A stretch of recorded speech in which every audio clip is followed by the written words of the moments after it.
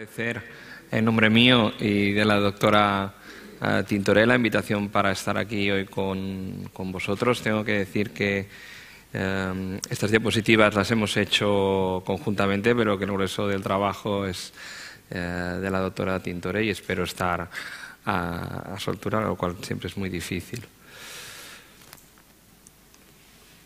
Estas son mis disclosures. Vamos a ir en, estas diapositivas que nos quedan hasta el final de la sesión. Siempre es más difícil ser el último, todo el mundo está cansado, pero espero levantar vuestros ánimos. Vamos a ir uh, desgranando una serie de, de, aspectos, algunas cosas, sobre todo los, avances de, este último año, pero para algunas cosas me iré un poquitín, uh, obviamente, para atrás para poder uh, enganchar bien con el, con el contexto. Uh, empezaremos por uh, un apartado de factores de riesgo ambientales. Sabéis que en esclerosis múltiple es algo sobre lo que se trabaja mucho y, cada vez más, diría yo. Estamos empezando a hablar, solo empezando a hablar, solo empezando a citar, uh, prevenir la esclerosis múltiple, simplemente eso. Se ha hablado bastante de la vitamina D, la, la exposición solar del tabaco veremos uh, que se está empezando a hablar y uh, se ha hablado durante estos últimos años del Epstein-Barr virus y su posible implicación, pero las últimas, los últimos datos apuntan a que es, no debe ser una implicación demasiado importante, aunque hay estudios que, que, sí lo apoyan. En cuanto al tema de la, de la vitamina D, sí que es algo que se está imponiendo y toda la evidencia que está saliendo está siendo está apoyando el hecho de que la vitamina D está uh, involucrada en el desarrollo de la enfermedad quizás y en la propia evolución uh, de la enfermedad.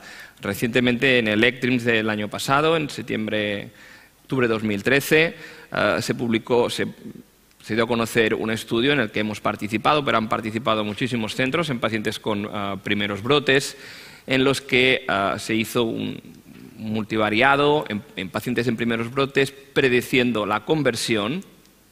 Y, uh, como veis, aparte de los uh, predictores típicos como es la presencia de bandas oligoclonales o la presencia de lesiones en la resonancia magnética, está suficientemente demostrado, también la uh, niveles bajos de vitamina D también han resultado ser predictivos de, la evolución de la enfermedad en estos pacientes. En este caso no se encontró, uh, aunque por poco, efecto de, eh, de este virus, el, el Epstein-Barr.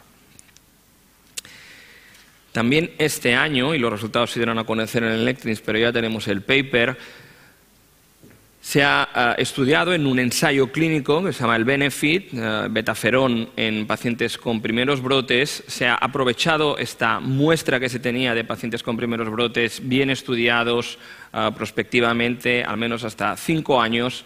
Se han mirado los niveles de vitamina D y se ha visto que la pertenencia al grupo de niveles bajos o niveles altos es un factor uh, diferenciador en la evolución de estos pacientes. Los pacientes con niveles bajos tienen, uh, por ejemplo, mayores probabilidades de conversión a esclerosis múltiple, uh, diferencia en el cambio de volumen cerebral, en, en, otros parámetros de la enfermedad. Por tanto, el nivel de vitamina D parece, las evidencias que van saliendo apuntan a que tiene un impacto sobre la evolución de, de los pacientes. Una cosa es que los niveles de vitamina D naturalmente tengan un impacto en la evolución o incluso puedan tener un impacto en si desarrollas o no la enfermedad y la otra cosa es que tratando con vitamina D obtengas algo. Eso es lo que parece que está todavía en una situación más controvertida. También hay que ver qué tipo de niveles estamos qué tipo de suplementaciones estamos usando, en qué pacientes vamos a ser capaces de cambiar el curso usando esta intervención. Por tanto, esto todavía está, uh, diría que si para el otro aspecto la evidencia va creciendo cada vez más, aquí no lo estamos uh, consiguiendo. Por tanto, a nivel de actitud práctica todavía uh, no podemos aconsejar una cosa o la otra de una manera potente. Sin embargo, bueno, esto es una, una, controversia que publica la revista Multiple Sclerosis Journal cada mes hay una controversia sobre un aspecto determinado y en este caso era sobre el uso de eh, vitamina D. Dice, si yo tuviera un primer brote con una resonancia magnética diagnóstica, tomaría vitamina D. Jorge Correale, que es un gran experto en esclerosis múltiple de Argentina, él defendía el sí, yo tomaría vitamina D, porque es segura, probablemente efectiva con los datos que hay. Aquí yo pondría el énfasis en probablemente y dice él, no tengo tiempo ah, para esperar a que los ensayos clínicos ah, se hagan. Bueno, es una actitud un poco pragmática, ah, que evidentemente tiene sus detractores. En este caso,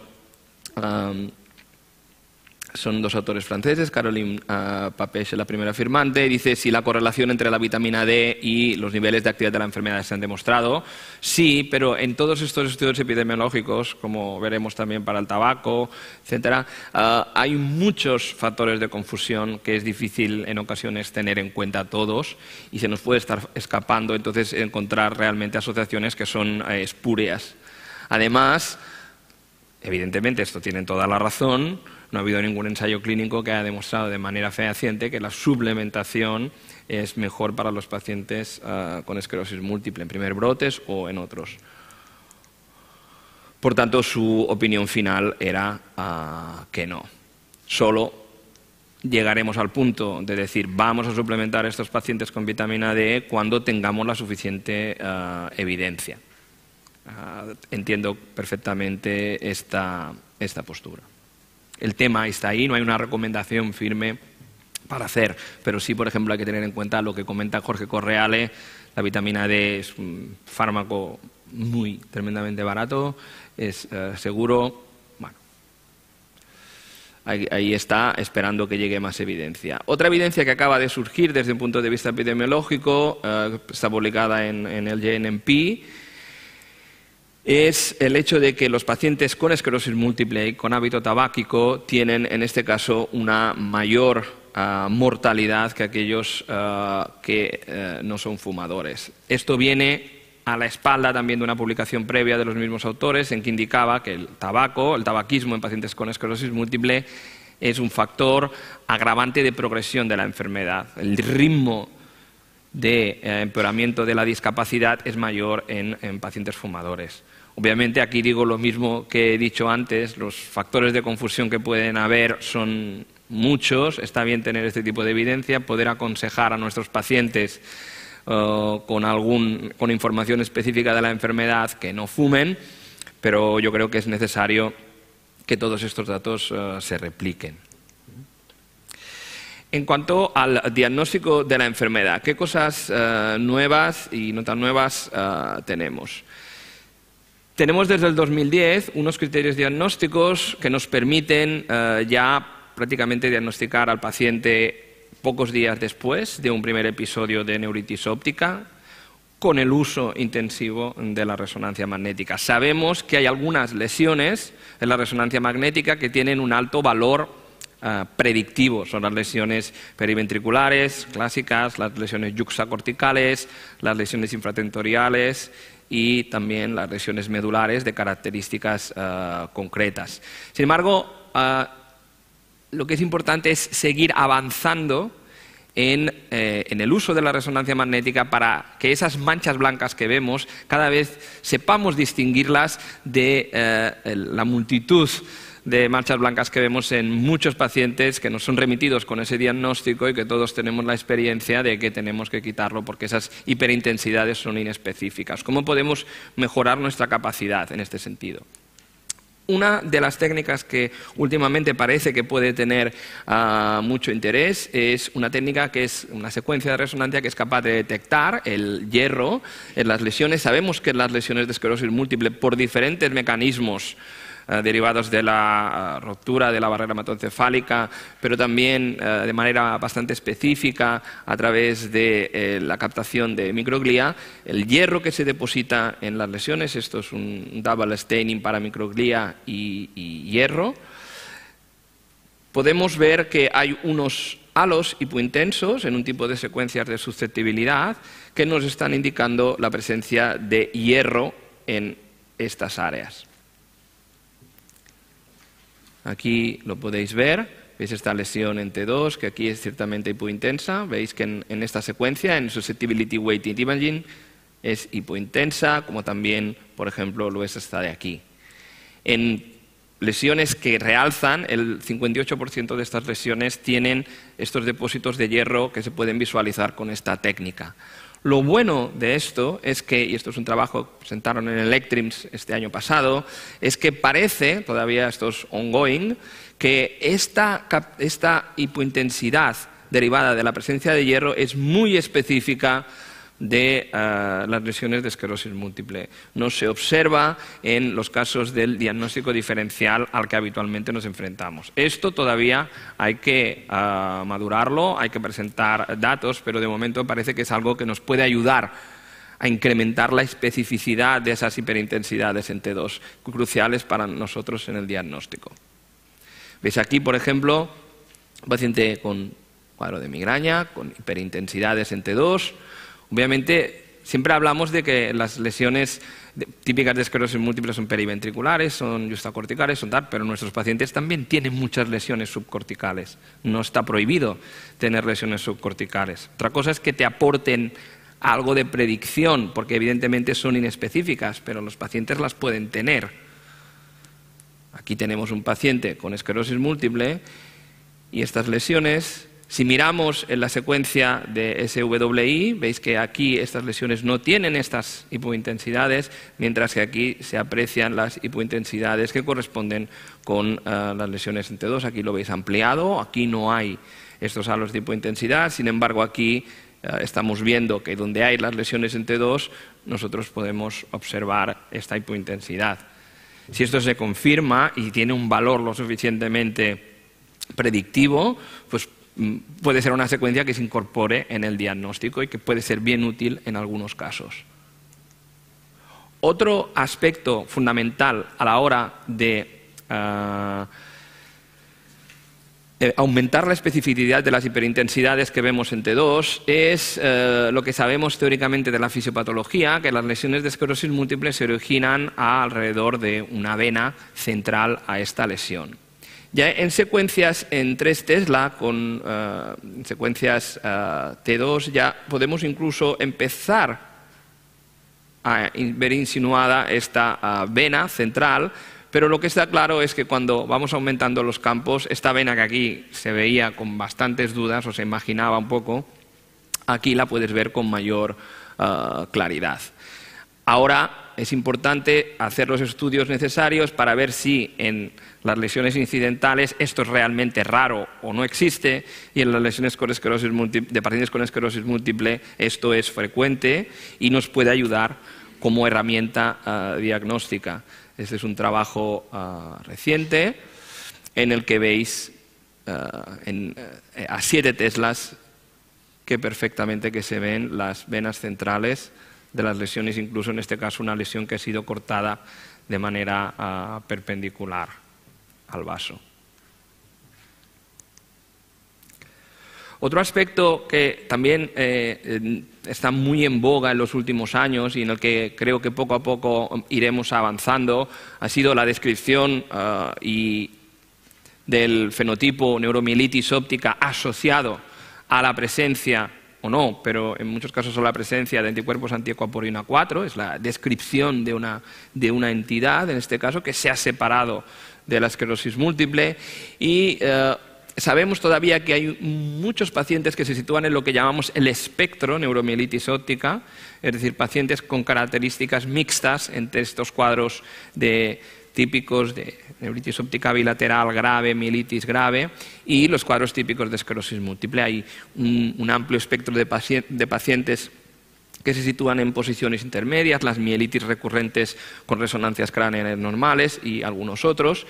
Y ahora, últimamente, se está trabajando algunos grupos con el tema de los anticuerpos anti-MOC para ver si en algunos casos nos podrían aportar algo de separación, algo de información en, en nuestros pacientes, especialmente los que se encuentran en estos fenotipos intermedios.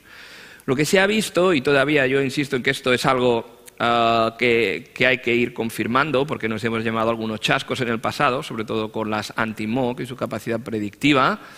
ah, es que la presencia de antimog ah, es relativamente más frecuente, sobre todo en formas pediátricas de enfermedades desmielinizantes. Podría ayudarnos en, este en esta franja de edad a asentar el diagnóstico, que en ocasiones puede ser complicado, y que en pacientes que son ah, NMO seronegativos, sobre todo, podemos encontrar que la presencia de estos anticuerpos anti-MOC nos ayuda a establecer ah, el diagnóstico y que parece que podría estar asociado a unas características clínicas específicas. ¿De acuerdo? Esto todavía es eh, work in progress. Puede ser que los pacientes que sean MOC positivos tengan un mejor pronóstico que los acuaporina 4 positivos, menos recurrencia, menos discapacidad en, eh, el largo plazo, más frecuencia de neuritis ópticas. Pero repito, todavía eh, necesitamos ver más trabajos que, lo confirmen. Hemos, puesto aquí un trabajo únicamente eh, que se ha publicado también recientemente sobre los tratamientos que ya disponemos en la actualidad. Ah, sobre todo en este caso se trata de ah, los interferones. Existe, y lo hemos puesto por dos, razones. Única es una, de las razones es porque sigue, el debate sobre los interferones o, el copaxone, el acetato de sobre todo los interferones, son capaces de modificar el curso de la enfermedad a largo plazo, es decir, la discapacidad. Es un debate que nunca tendremos la evidencia clase 1, esta que todo el mundo quiere, para eh, tirarlo de un lado o de otro, porque no va a haber un ensayo clínico aleatorizado, doble ciego, controlado con placebo, de 20 años de duración. Sobre todo ahora mismo ya con los interferones, esto obviamente no va a ser posible nunca. Esto por un lado, eh, este debate continúa. Y por otro, el hecho de eh, lo que ahora creo que va a ser un trend importante es sobre todo para resolver este tipo de problemas, es eh, el uso cada vez más intensivo de los registros de pacientes, como más mm, poblacionales, a mejor, porque nos pueden ayudar de una manera imperfecta, pero nos pueden ayudar a resolver este tipo de preguntas con las metodologías estadísticas apropiadas y siempre conociendo ah, las limitaciones. Los datos que eh, están publicados en este trabajo reciente están basados en el eh, registro eh, sueco de esclerosis múltiple, que ahora mismo eh, han conseguido involucrar a todos los neurólogos, que es muy complicado, um, en el declarar los casos a este registro online. Tienen, según ellos, un coverage de su población de pacientes con esclerosis múltiple altísimo. Y, con ello han sido capaces de generar datos comparando con cohortes históricas de, pacientes no tratados para comparar con aquellos que se habían tratado con interferón o acetato eh, de glatirámero. Estás consiguiendo números importantes de pacientes con seguimientos largos, pero obviamente hay unos sesgos eh, de inclusión. Pero conociendo estos sesgos y sabiendo las limitaciones de este estudio, estos autores han demostrado que el time period, es decir, si venías de un tiempo en que no se trataba los pacientes o eres de un tiempo en el que la mayoría de pacientes ya estaban tratados, pues eso mejoraba, te protegía del, tiempo a progresión eh, secundaria. Es un trabajo más que apoya el hecho de que los interferones sí afectan el pronóstico a largo plazo de la enfermedad, con limitaciones, pero que es de momento eh, todo lo que podremos conseguir. Si miramos la evolución de los pacientes con interferón, queremos saber eh, cómo, van a ir, eh, es importante monitorizarlos mientras los tenemos tratados. Los monitorizamos y aquí en este punto decimos cómo medimos si el tratamiento está siendo eficaz o no. No voy a esperar 10 años para ver si el paciente que caminaba ahora eh, prácticamente no puede dar más que unos pasos. Tengo que hacer una predicción de respuesta como más ah, pronto posible, porque sobre todo ahora que tenemos 10 ah, fármacos disponibles, es imperdonable ah, que yo mantenga un fármaco, a un paciente en un fármaco que no le está funcionando. Tengo que hacer los cambios apropiados. Otra cosa es que tenga evidencia para el cambio, pero primero tengo que montar la evidencia de que el fármaco no le está funcionando. Em, este es un trabajo del año pasado en una cohorte de pacientes eh, que viene de un ensayo clínico. Es un seguimiento a muy largo plazo, a 16 años. Y lo que se vio es que los pacientes que durante eh, los primeros momentos de tratamiento presentaban brotes, como es un ensayo clínico, hay un grupo de pacientes tratados y un grupo de placebo. Los pacientes que presentaban brotes o los que tenían lesiones que realzaban con gadolinio durante los periodos iniciales de tratamiento tenían un mayor riesgo de haber empeorado en el ah, follow-up, en el seguimiento. Es curioso ver que, como aquí tenemos un grupo de placebo, estos mismos marcadores que sirven para los pacientes que están en tratamiento no son tan buenos para los pacientes del placebo. Quiere decir que no es lo mismo un marcador de respuesta que un marcador de pronóstico en historia natural. No tiene por qué ser ah, idéntico. En los estudios en que solo tenemos, como ejemplo los estudios observacionales que hemos hecho, en que solo tenemos un solo brazo de tratados que corre en el tiempo, no podemos diferenciar historia natural de respuesta terapéutica. Puedo estar diciendo que mi marcador es un marcador de mala respuesta, pero en realidad lo que es es un marcador de enfermedad grave. En este caso sí, ¿no? y parece demostrar que estos marcadores que usamos para la respuesta terapéutica ah, son, más bien específicos de respuesta que no de ah, mala evolución de la enfermedad. Nosotros eh, en, nuestro, en, hemos seguido a los pacientes desde, eh, el principio, desde los 90, cuando empezamos con los interferones, y, tenemos un protocolo de definición de respuesta ah, terapéutica temprano en la enfermedad y este año hemos eh, valorado la evolución a 144 meses, a muy largo plazo, usando endpoints duros, no progresión de un punto. Aquí es llegar a siete y medio, es decir, imposibilidad de mantenerse de pie, o aumentar cinco puntos en el IDSS, que es una escala que va de 0 a 10. Cinco puntos es un incremento masivo, o bien tiempo hasta la, progresión ah, secundaria. Hemos eh, llegado a incluir pacientes eh, que hubieran empezado antes del 2000, 283 uh, pacientes de una cohorte total de 1160, que son seguidos de manera muy protocolarizada desde hace ah, muchos años. Y lo que vemos es que, por ejemplo, predictores de discapacidad a los 12 años, ah, incremento de 5 puntos en el IDSS, pues tanto pues, incrementar un punto en el IDSS durante ese primer año o tener al menos un brote o más de uno o ambas cosas es útil para predecir uh, cómo irá ese paciente en, el, largo plazo. Evidentemente, a ello tienes que mirar eh, no solo desde el punto de vista de predicción usando Kaplan-Meier, sino también lo que llamamos los parámetros diagnósticos, los parámetros del test, sensibilidad, especificidad. Las, eh, los parámetros clínicos más sensibles es la presencia de brotes, más específico es el incremento en el IDSS, obviamente porque yo también voy a acabar midiendo la evolución de la discapacidad. ¿de acuerdo? Por tanto, el cambio de la discapacidad durante el periodo temprano de observación va a ser más específico.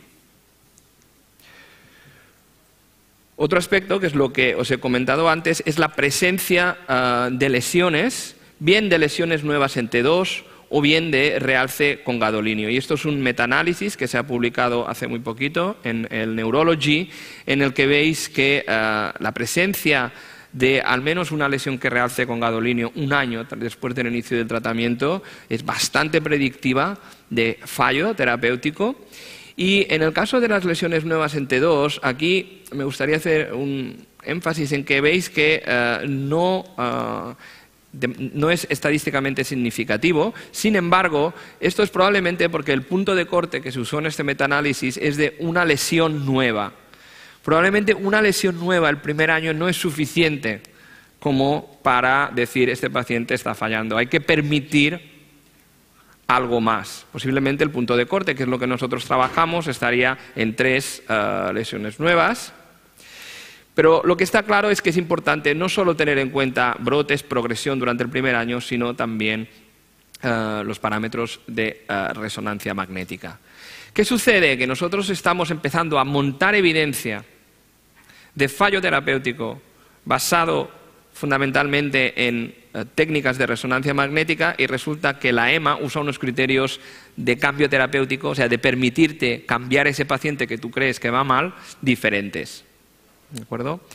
Mirad aquí, por ejemplo, este grupo italiano, esto también es de abril de este año, cómo demuestran que usando solamente parámetros de resonancia, si los pacientes tienen una lesión que realza al cabo de un año o dos o más nuevas, comparado con aquellos que no tienen ninguna lesión que realza y tienen cero o una nuevas, el porcentaje de pacientes que tienen brotes o que progresa o ambas cosas es, eh, el hazard ratio es de cinco puntos. Por tanto, únicamente mirando eh, los parámetros radiológicos ya tienes mucha información. Además, estos ah, investigadores lo que hicieron fue comparar el rendimiento de eh, los criterios de la EMA comparado con estos criterios de resonancia y vieron que era prácticamente igual. Es decir, podemos usar estos criterios radiológicos tranquilamente porque al final me, están prediciendo igual que eh, lo que me dice eh, la EMA. Un último avance en el tema de la monitorización de la respuesta terapéutica es la adición de las técnicas de volumen cerebral. Siempre se habla en esclerosis múltiple hay dos componentes, el componente más puramente inflamatorio, pero luego el componente neurodegenerativo. Sabemos que nuestros pacientes eh, pierden volumen cerebral a tasas bastante superiores a las que harían mm, sujetos sanos, como espero nosotros pero su uso como marcador de respuesta terapéutica todavía no está lo suficientemente avanzado como es en el caso de eh, las lesiones nuevas o las lesiones que realzan. También porque hasta ahora no éramos capaces de medir volumen cerebral tan fácilmente. Veis aquí, esto es un metaanálisis enorme de 13.500 pacientes, son prácticamente todos los últimos ensayos clínicos que se han realizado en esclerosis múltiple, en el que se miraba si yo podía predecir, viendo el efecto de un fármaco determinado sobre la atrofia, qué capacidad de predicción tenía sobre la progresión de la discapacidad. En este caso tenía un 48% de explicación a través de la atrofia, de la progresión. Con la presencia de lesiones nuevas explicaba un 61% y sumando ambas cosas me aumenta la predicción de manera estadísticamente significativa hasta un 75%. Por tanto, es eh, probable que la medición del volumen cerebral durante el primer año de tratamiento con interferones, en este, bueno, en este caso es con un pool de fármacos diferentes, no sería específico de fármaco, eh, me ayuda a la hora de predecir si este paciente va a empeorar o no en el seguimiento. Otra cosa es que eh, tengo que definir el cutoff, cosa que para las lesiones estábamos hablando de una que realza tres nuevas, en, volumen cerebral tengo que definir un cutoff de pérdida de volumen durante un año. Eh, ya estoy eh, terminando, estoy ya en la parte de nuevas terapias, en términos de efficacy. Tenemos ensayos nuevos que se han publicado, se han dado a conocer desde la última reunión. Uno de ellos es este, que es un fase 2, que está publicado en el Lancet online en marzo, 19 eh, de marzo de este año y que usa simvastatina, precisamente, comparado con placebo. Es un, grupo, es un ensayo relativamente pequeño y su primary outcome, un poco siguiendo con, con lo que os decía del valor cada vez más importante del volumen cerebral, mm, es estadísticamente ah, significativa la diferencia entre el grupo placebo y el grupo tratado. Seguramente moverán en un fase 3 y tendrán que usar a la fuerza parámetros clínicos. También se han publicado los resultados del estudio TOPIC de teriflunomida en pacientes con primeros brotes. Este fármaco ya está aprobado para las formas RR y es bonito ver que eh, si en las formas RR eh, su efecto sobre la tasa de brotes era del 30%, en los primeros brotes es del 43% y es exactamente lo mismo que hemos visto con el Copaxone, con el interferón. Su capacidad de modificar las curvas al principio de la enfermedad es superior que cuando ya has entrado unos años eh, en, la enfermedad. Hemos tenido un pequeño fracaso con este fármaco, el Laquinimod, que tiene un ensayo fase 3 positivo y tiene el otro gemelo, en esclerosis múltiple suelen solicitar dos fases 3 positivos, que es eh, negativo por los pelos, tanto en discapacidad como en en tasa de brotes. Sin embargo, por ejemplo, en volumen cerebral parece protector. Ah, está todavía en negociaciones con la EMA, aunque de entrada se rechazó ah, lo que sería la autorización. Y luego también se sigue montando la evidencia en teriflunomida, y este es un ensayo que se ha publicado ahora este mes, Ah, de comparación versus interferón. Es importante, en la medida de lo posible, ver si los nuevos fármacos que llegan son superiores a los que ya tenemos o al menos no inferiores, si en este caso se trata de una molécula oral, y se ha demostrado pues, que la teriflunomida parece ser no inferior al, al interferón, aunque es un estudio de diseño un poco complicado. Y por último, tenemos eh, cada vez fármacos más efectivos, como es el caso del natalizumab, pero más peligrosos, capaces de provocar eh, leucoencefalopatía multifocal progresiva en nuestros pacientes.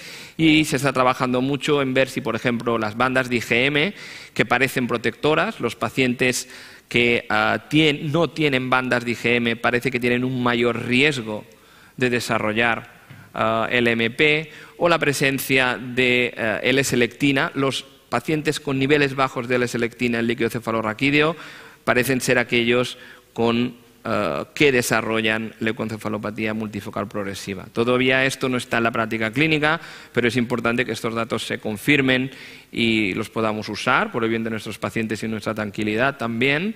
Y, por ejemplo, en otros fármacos, alentuzumab, un fármaco que es efectivo, que se ha probado aquí, pero que eh, aproximadamente un 25% de pacientes tratados con este fármaco desarrollan enfermedades autoinmunes, como habitualmente problemas tiroidales, intentar ver si tenemos una manera de predecir qué pacientes están más a riesgo. La IL-21 parecía ser útil, pero ahora eh, esto está en online todavía, no tiene número, parece que, los kits actualmente disponibles no son útiles. Y ha terminado. Muchas gracias por vuestra atención. Gracias, doctor Sastre. ¿Preguntas en la sala? Yo, tengo un par. Um, ¿es, ético todavía usar comparación con placebo en esclerosis múltiple? es ah, donde seguimos viendo ensayos ah, con placebo, es en las formas secundarias progresivas y sobre todo en la forma primaria progresiva, porque de hecho ah, no, hay, no hay tratamiento disponible o los tratamientos que hay se entiende que son de efectividad baja. En las formas remitentes recurrentes todavía seguimos viendo ensayos eh, con placebo. Tú tienes que encontrar el perfil de paciente determinado en el que, por ejemplo, no puedes indicar, por los criterios que usamos aquí, un fármaco de manera comercial. Es un paciente que, si no entrara en el ensayo, no llevaría tratamiento. Los criterios de inclusión se hacen por debajo de los criterios de tratamiento actuales o en aquellos casos en que, y sobre todo en estos casos, se tienen que poner reglas de mm, eh, escape rules, reglas de, escape del ensayo muy bien definidas. Es decir, si un paciente en este ensayo experimenta algún tipo de empeoramiento clínico, rápidamente tiene que ser eh, sacado del ensayo porque eh, pero sí, cada vez más lo que vemos son brazos comparadores activos o, face to face, excepto en, secundarias progresivas y primarias progresivas. Ah, y la segunda, si nadie se anima tampoco. Ah, ¿Usáis ah, derivados del cannabis en, estos pacientes?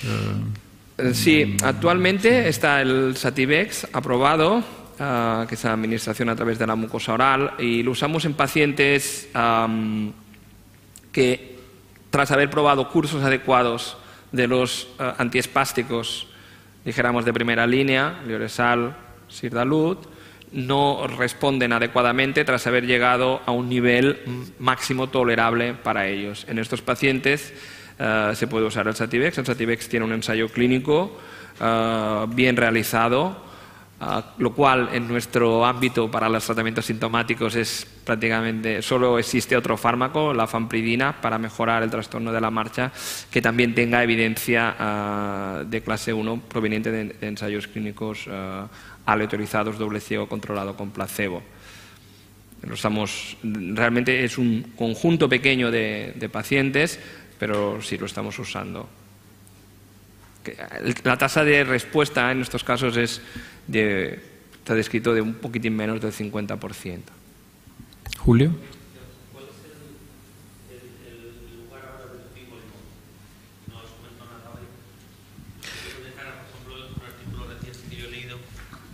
en el Lancet Neurology, creo, que dice que no modifica la. Hay una frase en la conclusión que dice que no modifica la evolución de la enfermedad, que me dejó a mí un poco impactado. Entonces... Sí, eh, a ver, em, el, el fingolimod lo estamos, es un fármaco, mm, no sé exactamente ahora esta frase, la, la, voy, a, la voy a buscar o me dices dónde es. Quizá proviene del, del Freedoms del, ensayo del Freedoms 2, que eh, el, el, fingolimod eh, tiene fundamentalmente tres ensayos pivotales.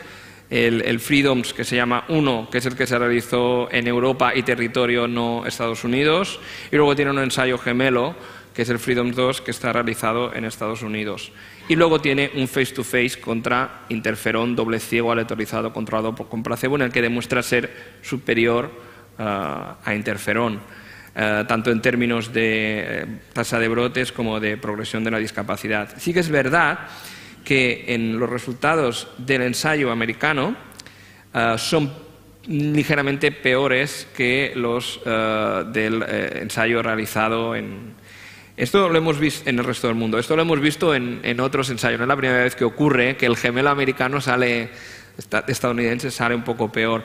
Yo creo que también es debido a, a los pacientes que acaban incluidos en el ensayo. Posiblemente ahí la disponibilidad de, de fármacos es diferente que aquí Ah, allí muchos pacientes están recibiendo tratamientos, muchos más que aquí. El pool de pacientes disponible para ensayos clínicos es menor y el tipo de paciente posiblemente menos informativo. Por tanto, a la hora de realizar el ensayo clínico te puedes encontrar algunas sorpresas, pero para nosotros el fingolimod es un fármaco mm, altamente efectivo. Estamos aprendiendo todavía sobre él porque hace poco tiempo que está disponible. Evidentemente tenemos pocos pacientes que lleven más de dos años en él.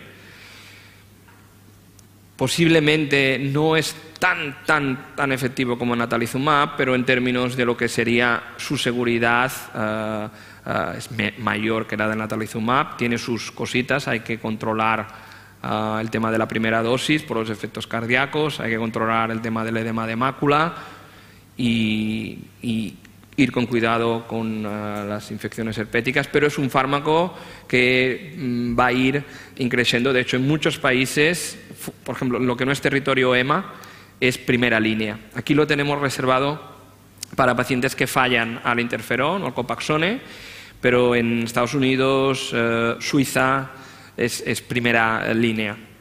Mm, yo creo que, es un fármaco. Quizá nuestra experiencia ahora viene un poco. Uh, teñida, los primeros pacientes que hemos tenido han sido pacientes que muchos de ellos provenían de natalizumab y que lo habían abandonado por cuestiones de riesgo del MP. Estos pacientes los hemos atado con fingolimod para disminuir el riesgo manteniendo eficacia, pero sabemos ahora que muchos de los pacientes que abandonan el natalizumab, algunos de ellos experimentan fuertes rebotes. Entonces, eh, la primera experiencia que hemos tenido con fingolimod ha venido teñida por esta, por esta situación, pero para nosotros es un fármaco eh, que va a ser muy útil y que lo está haciendo. Muy bien, pues uh, muchísimas gracias. Gracias. Uh, acabamos esta.